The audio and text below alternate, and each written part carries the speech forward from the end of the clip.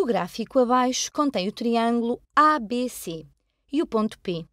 Desenhe a imagem do triângulo ABC através de uma homotetia de centro P e razão 2.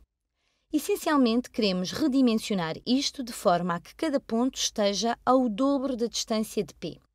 Por exemplo, B tem a mesma coordenada y que P, mas a sua coordenada x tem mais 3 unidades. Como queremos estar ao dobro da distância, se este ponto for a imagem de B, mas duas vezes mais longe, se aqui está a 3 de distância, terá de estar a 6 de distância. Então, a coordenada x do ponto P é 3 e a da imagem de B é 9.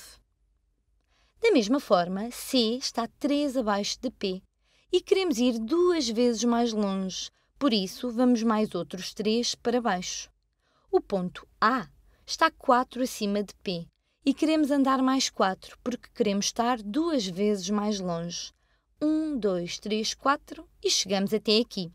Agora perguntam-nos qual é o comprimento do lado AB e da sua imagem. AB, AB, aqui, deixem-me ver.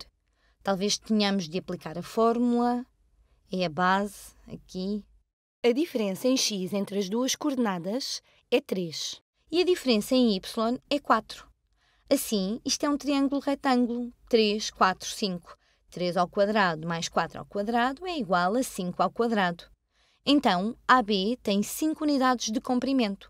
Estou a usar o Teorema de Pitágoras para descobrir isto, e a sua imagem deverá ser duas vezes mais longa.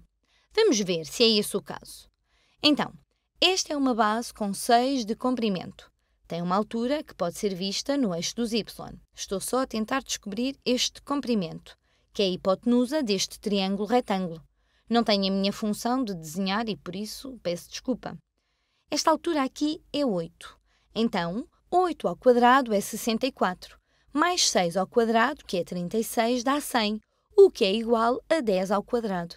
Reparem, tendo em conta a razão, 2, o lado correspondente é duas vezes mais longo. Cada um destes pontos está duas vezes mais longe a partir do centro da homotetia.